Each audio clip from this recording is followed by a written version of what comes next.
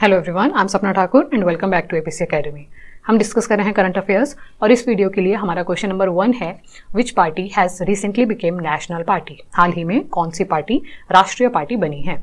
हमारे ऑप्शंस हैं Indian national Congress आम आदमी पार्टी, तृणमूल कांग्रेस या फिर nationalist Congress party. Right answer हो जाएगा आम आदमी party.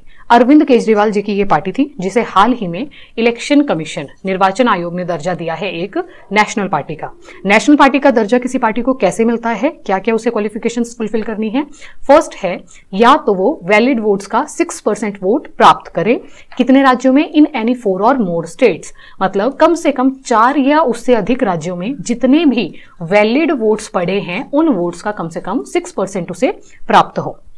In addition it wins four seats in Lok Sabha from any state और स्टेट्स इसके साथ साथ सिक्स परसेंट प्लस चार सीटें उसे प्राप्त करनी है लोकसभा में इसके अलावा सेकंड क्या ऑप्शन है उसके पास कि या तो लोकसभा में टू परसेंट ऑफ़ सीट्स वो प्राप्त करे कम से कम कितने राज्यों से चुनके तीन राज्यों से चुनके या थर्ड ऑप्शन है कि अगर उसे चार राज्यों में स्टेट पार्टी का दर्जा दिया गया हो आम आदमी पार्टी को इसी बेसिस पर जो है नेशनल पार्टी का दर्जा दिया गया नेक्स्ट क्वेश्चन देखते हैं. How many tigers are there in India Bharat में कुल कितने बाघ हैं?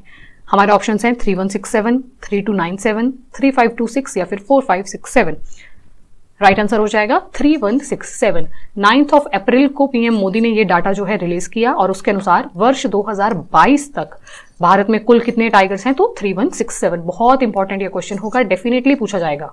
प्रोजेक्ट टाइगर कब शुरू हुआ था? 1973 में और उसे 2023 में हो गए 50 वर्ष पूरे। First tiger reserve was Bandipur of Karnataka और लेटेस्ट टाइगर रिज़र्व बना है रानीपुर, यूपी में है और ये भारत का फिफ्टी टाइगर रिज़र्व बना है। मध्य प्रदेश में सबसे ज़्यादा टाइगर्स की संख्या है विच इज़ 526 और पीएम मोदी ने इंटरनेशनल बिग कैट्स अलायंस भी जो है लॉन्च किया। नेक्स्ट क्वेश्चन देखते हैं। Who has been awarded with the award order of the white eagle order of the white eagle पुरस्कार से किसे सम्मानित किया गया है? हमारा फ़र्स्ट ऑप्शन है Joe Biden Narendra Modi Vladimir Zelensky या फिर सानिया मरीन राइट आंसर हो जाएगा व्लादिमिर जेलेंस्की पोलैंड का हाईएस्ट अवार्ड है जो इन्हें दिया गया। ये खुद कौन है? Current president of Ukraine he is the current president of Ukraine और इन्हीं को ही वर्ष 2022 के लिए time person of the year award भी दिया गया था। Next question PM Modi has been invited to Bastille Day Parade. It is related to which country? PM Modi को बेस्टल डे परेड के लिए आमंत्रित किया गया है। यह किस देश से संबंधित है? परेड कब होगी? फोर्टीन ऑफ़ जुलाई को होगी। और कंट्रीज़ के हमारे ऑप्शन हैं।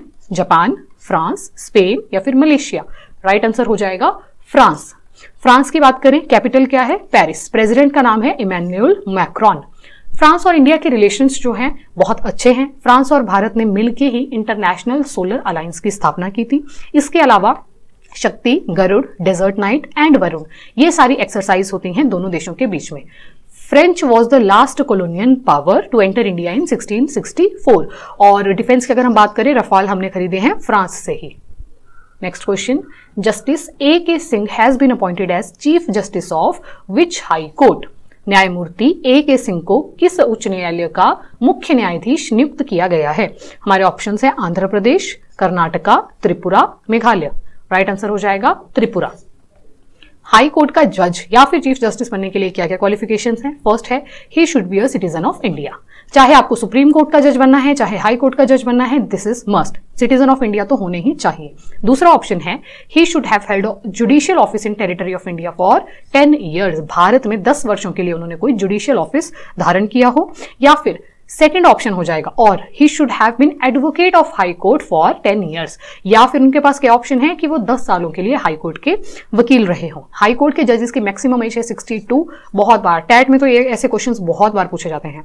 हाई कोर्ट का जज है बट उसको अपॉइंट कौन करता है? तो प्रेसिडेंट मेनली यहाँ पर हम सबको लगता है कि गवर्नर अपॉइंट करेगा, क्योंकि किसी राज्य का जज है बट नो कौन अपॉइंट करेगा? नियुक्ति कौन करेगा? तो प्रेसिडेंट रिमूव भी कौन करेगा? तो president he is justice A K Singh next question is when is national safe motherhood day celebrated राष्ट्रीय सुरक्षित मातृत्व दिवस कब मनाया जाता है? हमारे ऑप्शन है tenth of April eleventh of April twelfth of April या फिर thirteenth of April right answer हो जाएगा eleventh of April next question when is birth anniversary of doctor Bhimrao Ambedkar doctor Bhimrao Ambedkar की जयंती कब होती है? हमारे ऑप्शन हैं eleventh of April twelfth of April thirteen April या फिर fourteen of April right answer हो जाएगा fourteen of April fourteen of April 1891 में उनका जन्म हुआ मध्य प्रदेश के महू नामक स्थान पे। इनका और क्या इंपॉर्टेंट पॉइंट हो जाएगा? He was the chairman of drafting committee संविधान की जो प्रारूप समिति थी, उसके ये अध्यक्ष थे।